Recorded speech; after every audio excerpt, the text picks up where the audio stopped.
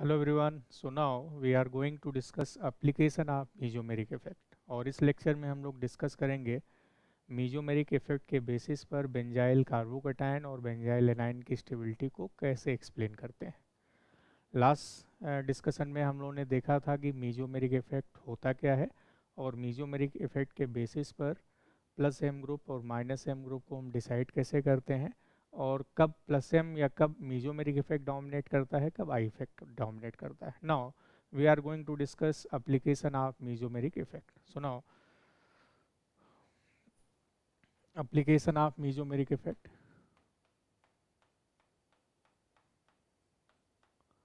Application of mesomeric effect.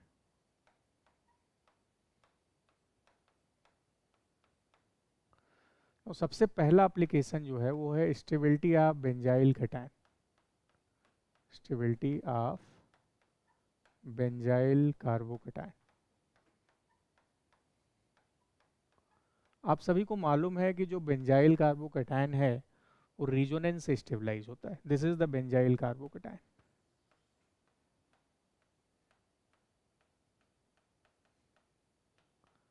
इसको हम लोग P H C H two plus से भी लिख देते हैं.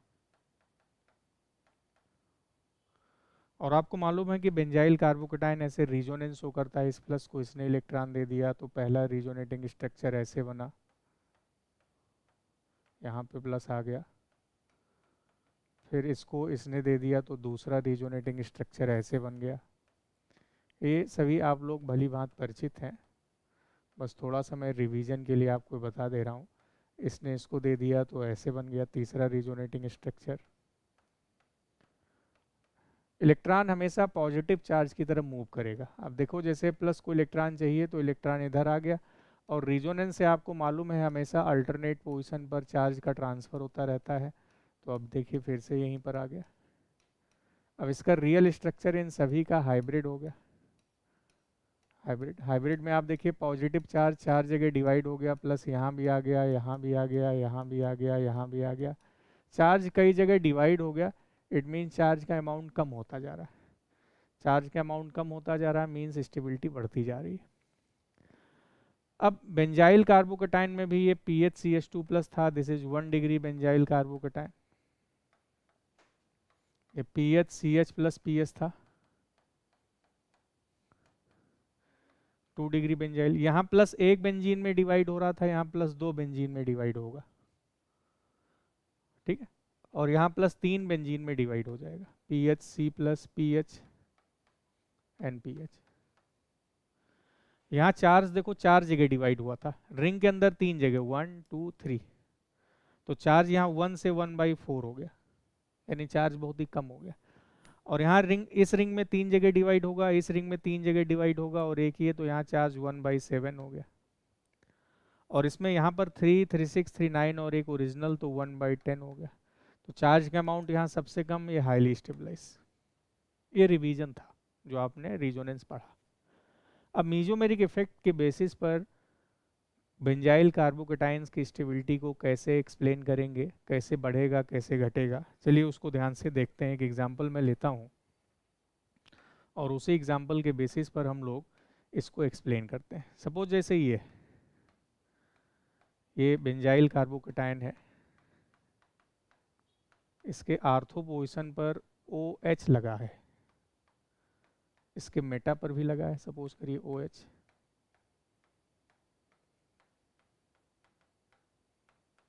इसके पैरा पे भी लगा है ऊपर लोन पेयर यहाँ भी। इसके पैरा पे भी लगा है।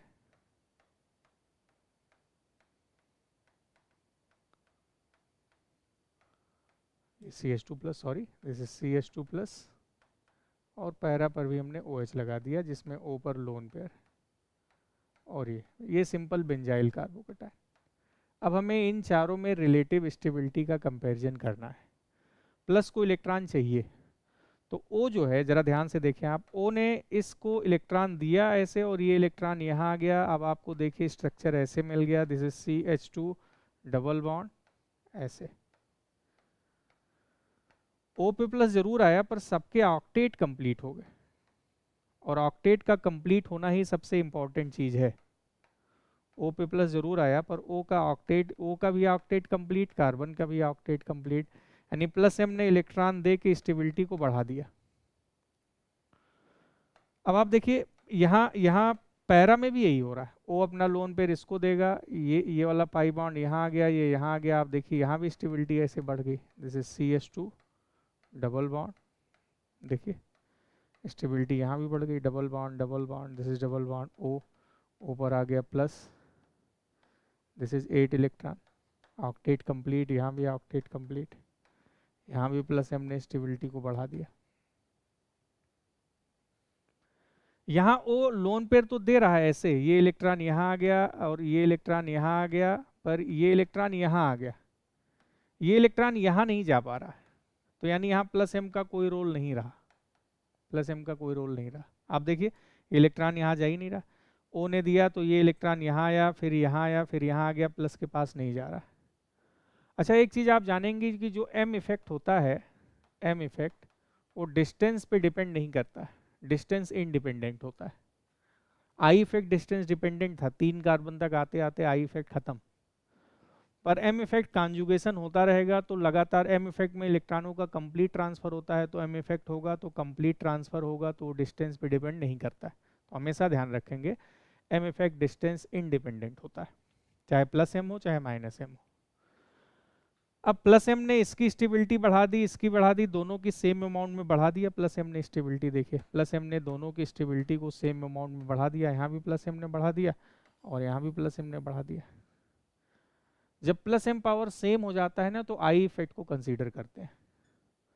क्योंकि आई इफ़ेक्ट अब प्लस एम से तो स्टेबिलिटी सेम हो गई, लेकिन कुछ ना कुछ तो डिफरेंस होगा। उस डिफरेंस को हम आई इफ़ेक्ट से देख लेते हैं कि क्या डिफरेंस है। अब ओ जो है ना ओ ओ एच एक इलेक्ट्रो ओ इलेक्ट्रोनेगेटिव है तो ओ एच एक माइनस आई ग्रुप है। और माइनस आई ग्रुप कटाइन की स्टेबिलिटी को डिक्रीज करता है तो प्लस एम ने बढ़ाया और माइनस आई ने थोड़ा सा घटा दिया बट माइनस आई यहाँ मैक्सिमम है। और यहाँ तो सिर्फ़ माइनस आई ही लगेगा। यहाँ से सिर्फ़ माइनस आई ने घटाया और यहाँ माइनस आई लगेगा ही नहीं। तीन कार्बन तक आते आते आई इफ़ेक्ट खत्म हो जाता है प्लस के बगल में वन टू थ्री ये वन टू थ्री यहाँ पर आते आते आई इफ़ेक्ट खत्म हो गया। इसका ना घटा ना बढ़ा हुआ एज इट इज़ रहा। अब आप देखिए, इसका घट रहा है, इन दोनों का बढ़ रहा है, लेकिन माइनस आई एम इफ़ेक्ट और आई इफ़ेक्ट में हमने बताया था डोमिनेंट कौन होता है तो एम इफ़ेक्ट और आई इफ़ेक्ट में डोमिनेंट एम होता है। माइनस आई ने थोड़ा घटा दिया माइनस ए आई तो एकदम घटा ही नहीं रहा है। तो अब देखिए, अगर मैं स्टेबिलिटी की बात करूँ तो सबसे ज़्यादा स्टेबलाइज ये पैरा वाला हो गया, ये पैरा था, ये मेटा था, ये आर्थो था। पैरा के बाद आर्थो आर्थो के बाद बेंजाइल बेंजाइल का कहीं से डिक्रीज नहीं हुआ दिस इज़ बेंजाइल इसका डिक्रीज हुआ देखिए, इसका डिक्रीज नहीं हुआ इसका भी प्लस एम से बढ़ा, इसका भी प्लस एम बढ़ा, पर इसका माइनस आई से थोड़ा सा घट गया, इसमें माइनस आई एकदम नहीं लगा। तो अब para then ortho then benzyl और सबसे कम स्टेबलाइज मेटा सो ये स्टेबिलिटी का ऑर्डर हो गया। ठीक है? ये ध्यान रखेंगे। जब एम इफ़ेक्ट दो जगह समान हो जाए, जैसे कि आर्थो और पैरा में तो हम आई इफ़ेक्ट को कंसीडर कर लेते हैं। अब आप कहेंगे आई इफ़ेक्ट प्लस आई होगा कि माइनस आई होगा, ये कैसे जानेंगे? तो आई इफ़ेक्ट जो एटम जुड़ा हुआ है रिंग से डायरेक्टली जैसे यहाँ रिंग से डायरेक्टली ओ जुड़ा है तो ओ इलेक्ट्रोनेगेटिव है तो ओ इलेक्ट्रोनेगेटिव है तो ज़ाहिर सी बात है माइनस आई होगा। लेकिन डोमिनेंट कौन होगा? प्लस एम की माइनस आई तो आप कहेंगे प्लस एम तो आप कहेंगे आई इफ़ेक्ट आपने क्यों लिया? तो आई इफ़ेक्ट इसलिए लिया क्योंकि आर्थो और पैरा दोनों की स्टेबिलिटी प्लस एम पावर से सेम अमाउंट में बढ़ी, क्योंकि एम इफ़ेक्ट डिस्टेंस पे डिपेंड नहीं करता है। इसलिए आर्थो पैरा की स्टेबिलिटी में डिफ्रेंशिएट करने के लिए आई इफ़ेक्ट लेना पड़ेगा। पैरा में आई इफ़ेक्ट नेग्लेजिबल हो जाता है, तीन कार्बन के बाद आई इफ़ेक्ट फिनिश। दूसरा एग्ज़ाम्पल लेंगे और क्लियरिटी आ जाएगी। यहाँ देखिए। एन पर लोन पेयर एन ने इलेक्ट्रॉन दे दिया, इसने प्लस एम पावर से बढ़ा दिया। यहाँ तो प्लस एम लगेगा नहीं। यहाँ भी प्लस एम ने बढ़ा दिया। प्लस एम जितना आर्थो का बढ़ाएगा, उतना पैरा का बढ़ाएगा। आई इफ़ेक्ट लेंगे। अब I effect N N S two का आई नेचर देखिए। रिंग से डायरेक्टली एन जुड़ा है एन इलेक्ट्रोनेगेटिव है तो इलेक्ट्रोनेगेटिव है तो माइनस आई माइनस आई कटाइन की स्टेबिलिटी घटाएगा। माइनस आई यहाँ मैक्सिमम यहाँ माइनस आई का रोल ही नहीं है। सॉरी यहाँ माइनस आई ने यहाँ भी घटा दिया। बट यहाँ माइनस आई का कोई रोल नहीं है। खत्म। नेग्लेजिबल डिस्टेंस ज़्यादा हो गई। ये आर्थो था। ये मेटा था। और ये पैरा था और ये बेंजाइल था। अब आपसे बोला जाए कि इन चारों में स्टेबिलिटी का ऑर्डर बताएँ तो आप देखिए सबसे ज़्यादा स्टेबलाइज हो गया पैरा पैरा के बाद हो गया आर्थो आर्थो के बाद हो गया बेंजाइल। बेंजाइल का डिक्रीज नहीं हुआ था, लेकिन मेटा का डिक्रीज हो गया। So this is the stability order अब यहाँ देखिए। NO2 जुड़ा है आर्थोमेटा पैरा पर NO2 NO2 जब विड्रॉइंग ग्रुप में जो पहला स्ट्रक्चर बना है, उसमें आपको समझा रहा हूँ। ध्यान से देखिएगा। ये सी एच टू पे प्लस है। ये एनओ टू है। एनओ टू एक माइनस एम ग्रुप है। This is a minus M group minus M group cation की स्टेबिलिटी को डिक्रीज कैसे करता है, ये समझिए। NO2 ने इलेक्ट्रॉन खींचा ओ पे माइनस एन पे प्लस एन प्लस ने इधर से लिया तो यहाँ पे प्लस अब प्लस प्लस अगल बगल आ गए रिपल्सन हो गया रिपल्सन से स्टेबिलिटी घट गई। तो ये आर्थो था, ये मेटा था और ये पैरा था। और ये बेंजाइल था। अब इसमें स्टेबिलिटी का ऑर्डर पूछा जाए, भाई किसकी स्टेबिलिटी ज़्यादा, किसकी कम बताएँ? तो इसने माइनस एम से स्टेबिलिटी को डिक्रीज कर दिया। यहाँ तो माइनस एम पावर लगेगा नहीं, क्योंकि मेटा पोजिशन पर एम इफ़ेक्ट का कोई रोल नहीं होता है। यहाँ भी माइनस एम ने घटा दिया। भाई जो आर्थो पे लगेगा, वही पैरा पे भी एम इफ़ेक्ट लगेगा। अब माइनस एम ने आर्थो और पैरा दोनों की स्टेबिलिटी को सेम अमाउंट में घटा दिया। अब जब एम इफ़ेक्ट सेम हो जाता है तो आई इफ़ेक्ट लिखते हैं। अब NO2 का आई नेचर एन और ओ दोनों जुड़ा है तो इसका आई नेचर माइनस आई है। तो माइनस आई ने भी स्टेबिलिटी को डिक्रीज किया माइनस आई मैक्सिमम यहाँ भी माइनस आई ने डिक्रीज कर दिया, और यहाँ तो माइनस आई लगा नहीं। अब माइनस एम और माइनस आई में ज़्यादा डोमिनेंट कौन तो आप कहेंगे माइनस एम और माइनस आई में एम इफ़ेक्ट डोमिनेंट यानी माइनस एम ज़्यादा घटाएगा, इसका भी घटा, इसका भी घटा, इसका भी घटा, इसका नहीं घटा। तो अब सबसे ज़्यादा स्टेबलाइज बेंजाइल बेंजाइल के बाद मेटा मेटा के बाद पैरा और सबसे कम स्टेबिलिटी आर्थो की माइनस एम ज़्यादा घटाएगा माइनस आई कम घटाएगा। यहाँ तो एम लग ही नहीं रहा है माइनस आई लग रहा है। इसका बहुत ही कम घटा, इन दोनों का ज़्यादा घटा। बट इन दोनों में इसका ज़्यादा घटा क्योंकि यहाँ माइनस आई भी घटा रहा है, इसलिए आर्थो की स्टेबिलिटी सबसे कम। अब ये चारों। इन चारों में स्टेबिलिटी का आर्डर। अभी हमने कुछ देर पहले बताया था पुराने लेक्चर में कि अगर बेंजीन के आर्थो मेटा आर्थो और पैरा पर सी एस थ्री हो तो हाइपर कॉन्जुगेशन शो करता है। हाइपर कॉन्जुगेशन भी सिर्फ़ आर्थो पैरा पे ही लगता है तो यहाँ प्लस एच ने स्टेबिलिटी को बढ़ा दिया। यहाँ तो हाइपर कॉन्जुगेशन का कोई रोल है नहीं। यहाँ भी प्लस एच ने बढ़ा दिया। एच इफ़ेक्ट भी डिस्टेंस इंडिपेंडेंट होता है। जितना आर्थो का बढ़ेगा, उतना ही पैरा का भी बढ़ेगा। कई जगह प्लस एच को प्लस एम ही लिखते हैं, पर हाइपर कॉन्जुगेशन का है, इसलिए मैं प्लस एच लिख रहा हूँ। अब सी एस थ्री जब दोनों सेम हो गया तो आई इफ़ेक्ट देखेंगे C S three plus I plus I यहाँ मैक्सिमम क्योंकि I effect plus I electron ऐसे डोनेट करेगा। और यहाँ भी प्लस आई ने थोड़ा सा बढ़ा दिया, और यहाँ प्लस आई तो लगेगा नहीं। ये बेंजाइल अब इनमें स्टेबिलिटी का ऑर्डर पूछा जाए तो हाइपर कॉन्जुगेशन और इंडक्टिव इफ़ेक्ट में डोमिनेंट कौन? तो आप कहेंगे हाइपर कॉन्जुगेशन और इंडक्टिव में डोमिनेंट जो होता है वो हाइपर कॉन्जुगेशन होता है। प्लस एच प्लस आई दोनों ने बढ़ाया तो सबसे ज़्यादा स्टेबलाइज आर्थो। आर्थो के बाद पैरा पैरा के बाद मेटा बेंजाइल का एकदम नहीं बढ़ा तो बेंजाइल की स्टेबिलिटी सबसे कम। उम्मीद है सबको समझ में आ गया होगा कि this is how we can compare stability of various benzyl carbocation with the help of M effect and H effect moving towards some more examples. अब आप देखिए यहाँ प्लस सी एस थ्री जुड़ा है तो हाइपर कॉन्जुगेशन होगा प्लस एच पावर शो होगा, पर यहाँ पर तीन अल्फ़ा हाइड्रोजन है। हाइपर कॉन्जुगेशन यहाँ ज़्यादा होगा। यहाँ पर दो ही अल्फ़ा हाइड्रोजन है। हाइपर कॉन्जुगेशन होगा बट कम होगा। यहाँ एक ही अल्फ़ा हाइड्रोजन है। हाइपर कॉन्जुगेशन या प्लस एच तो अल्फ़ा हाइड्रोजन से होता है और बेंजीन से जुड़ा पहला कार्बन, ये अल्फ़ा कार्बन, ये अल्फ़ा कार्बन, ये अल्फ़ा कार्बन और ये अल्फ़ा कार्बन, यहाँ ज़ीरो अल्फ़ा कार हाइड्रोजन। हाइपर कॉन्जुगेशन मिनिमम तो इसकी स्टेबिलिटी सबसे कम। यहाँ देखिए, यहाँ थ्री अल्फ़ा हाइड्रोजन, हमने आपको हाइपर कॉन्जुगेशन के दौरान बताया था, यहाँ ज़ीरो अल्फ़ा हाइड्रोजन, ये सिर्फ़ प्लस आई पावर से स्टेबिलिटी बढ़ाएगा, ये प्लस एच से बढ़ाएगा। हमने आपको बताया था हाइपर कॉन्जुगेशन सिर्फ़ हाइड्रोजन से होता है, उसके आइसोटोप, ड्यूटेरियम या ट्रिटियम से एकदम नहीं होता है। ठीक है? यहाँ भी देखिए C S three C D three अभी एम है तो यहाँ पर सिर्फ़ प्लस आई पावर लगेगा। मेटा पोजिशन पर सिर्फ़ प्लस आई पावर ही लगता है। मेटा पोजिशन पर हाइपर कॉन्जुगेशन या एम इफ़ेक्ट का कोई रोल नहीं होता है। और सी एस थ्री और सी डी थ्री में plus I power C D three का ज़्यादा है तो अब ये ज़्यादा स्टेबलाइज हो जाएगा। और अगर अपने को इन सब में स्टेबिलिटी का कंपैरिजन करना हो तो आप देखिए सब प्लस हैं, सबको इलेक्ट्रॉन चाहिए। एन पर लोन पेयर ओ पर दो lone pair N S two plus M से इलेक्ट्रॉन देगा, ये भी प्लस एम से देगा, ये प्लस एच से देगा।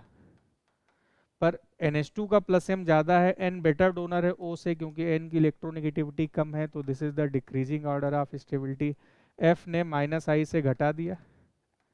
सी एच ओ ने माइनस एम से घटा दिया और NO2 ने माइनस एम से घटा दिया और माइनस एम पावर जब आपको बताया गया था, बताया गया था माइनस एम पावर NO2 का सबसे ज़्यादा so now this is the decreasing order of stability So this is how we can explain stability of various benzyl carbocation with the help of mesomeric effect and hyperconjugative effect. अब अगर benzyl anion की stability compare करनी हो now second application is the stability of benzyl anion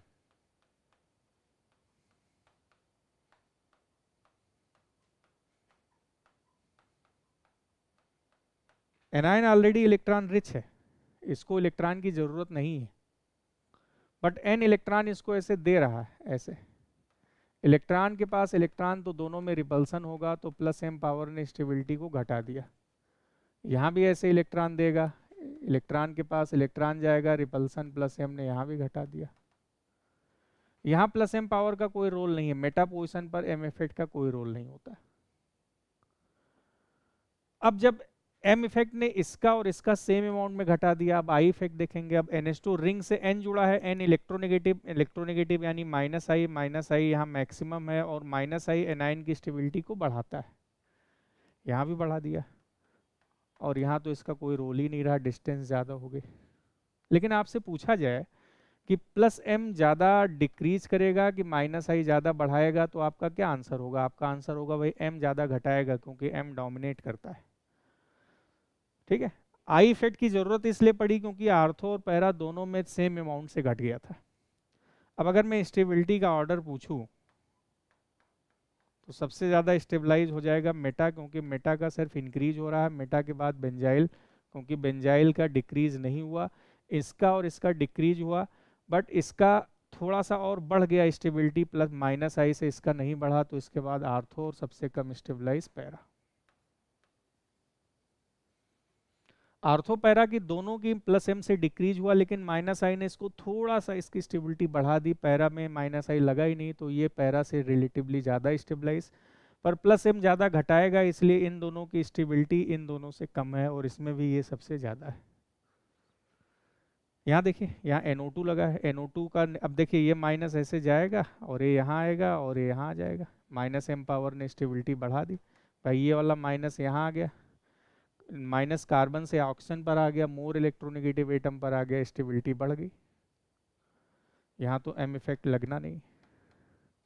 और यहाँ भी minus M से stability बढ़ गई, देखिए ऐसे इसने इसको इलेक्ट्रॉन दिया, ये यहाँ आ गया, ये यहाँ आ गया और यहाँ आ गया। यहाँ का माइनस यहाँ आ गया। कार्बन का माइनस ओ पर आ गया O more electronegative atom, stability बढ़ गई। पर इसकी और इसकी स्टेबिलिटी आई माइनस एम पावर से सेम अमाउंट में बढ़ा। दोनों की स्टेबिलिटी अभी सेम है तो अब आई इफ़ेक्ट देखेंगे। I effect N two N और ओ दोनों इलेक्ट्रोनेगेटिव माइनस आई बढ़ाएगा। माइनस आई यहाँ मैक्सिमम यहाँ भी माइनस आई बढ़ाएगा। यहाँ माइनस आई नेग्लिजिबल पर आपसे पूछा जाए माइनस एम ज़्यादा बढ़ाएगा कि माइनस आई तो आप कहेंगे माइनस एम ज़्यादा बढ़ाएगा। तो सबसे ज़्यादा स्टेबलाइज आर्थो आर्थो के बाद पैरा पैरा के बाद मेटा सबसे कम स्टेबलाइज बेंजाइल अब इन दोनों में देखिए। C S three plus H electron देगा इलेक्ट्रॉन देगा स्टेबिलिटी घटाएगा। और यहाँ तो प्लस एच लगना नहीं है, यहाँ भी प्लस एच ने घटा दिया। अब प्लस एच से दोनों का सेम अमाउंट में घट गया। अब आई इफ़ेक्ट देखेंगे सी एस थ्री का आई नेचर प्लस आई ये भी अगेन ये इलेक्ट्रॉन दे के प्लस आई मैक्सिमम और घटा देगा। यहाँ भी प्लस आई ने थोड़ा सा घटा दिया, और यहाँ तो प्लस आई लगे नहीं। अब इन तीनों की स्टेबिलिटी घट रही है बेंजाइल की नहीं घट रही है, यानी ये बेंजाइल मतलब ये। तो सबसे ज़्यादा स्टेबलाइज बेंजाइल अब आपसे बोला जाए हाइपर कॉन्जुगेशन ज़्यादा डिक्रीज करेगा कि आई इफ़ेक्ट तो आप कहेंगे हाइपर कॉन्जुगेशन तो इन दोनों का ज़्यादा डिक्रीज हो रहा है, इसका उतना डिक्रीज नहीं हो रहा है। तो बेंजाइल के बाद मेटा मेटा के बाद पैरा आर्थो का तो बहुत ज़्यादा डिक्रीज हुआ प्लस एस से भी डिक्रीज हुआ प्लस आई से भी डिक्रीज हुआ तो आर्थो लीस्ट स्टेबलाइज इस तरह से कर लेंगे। कुछ एग्ज़ाम्पल और, जिससे आपकी और क्लियरिटी आ जाए। यहाँ पे देखिए माइनस है ऑलरेडी इलेक्ट्रॉन रिच है। ये इलेक्ट्रॉन ऐसे देगा। A three alpha hydrogen A two alpha hydrogen one alpha hydrogen zero alpha hydrogen plus H यहाँ मैक्सिमम है। ज़्यादा डिक्रीज करेगा। प्लस एच यहाँ मिनिमम है। कम डिक्रीज करेगा। More stabilize C S three plus H से डिक्रीज करेगा. C D three plus I से डिक्रीज करेगा. हाइपर कॉन्जुगेशन ज़्यादा घटाएगा, ये कम घटाएगा तो ये ज़्यादा स्टेबलाइज होगा. सी एस थ्री और सी डी थ्री अब यहाँ सिर्फ़ प्लस आई पावर लगेगा प्लस आई से डिक्रीज करेगा. सी डी थ्री का आई इफ़ेक्ट ज़्यादा होता है तो अब ये ज़्यादा स्टेबलाइज हो जाएगा. यानी आई इफ़ेक्ट से इसने ज़्यादा डिक्रीज कर दिया. और अगर इन सब की बात करें तो आप देखिए NO two minus M power है। NO two minus M power ने इसकी स्टेबिलिटी को बढ़ा दिया। देखिए क्योंकि माइनस ऐसे इलेक्ट्रॉन जाके देखिए ओ पर आ गया। और माइनस आई इसका मैक्सिमम है। यहाँ भी माइनस एम ने बढ़ा दिया। एफ़ ने माइनस आई से बढ़ा दिया। एन पर तो लोन पेयर है। ये इलेक्ट्रॉन ऐसे देगा, ये यहाँ जाएगा और यहाँ जाएगा रिपल्सन हो जाएगा। देखिए इलेक्ट्रॉन इलेक्ट्रॉन में रिपल्सन प्लस एम ने यहाँ घटा दिया। प्लस एम यहाँ मैक्सिमम ओ OH भी ऐसे इलेक्ट्रॉन देगा, ये भी घटा देगा, ये प्लस एच से घटा देगा। इसका प्लस एम ज़्यादा है, ज़्यादा घटाएगा तो this is now increasing order of stability so this is how we can explain stability of benzyl carbocation and benzyl anion with the help of mesomeric effect in the next class we will discuss how M effect and i effect both govern the acidity of benzoic acid, phenol as well as basicity of aniline and its derivative. इस lecture में इतना ही thank you very much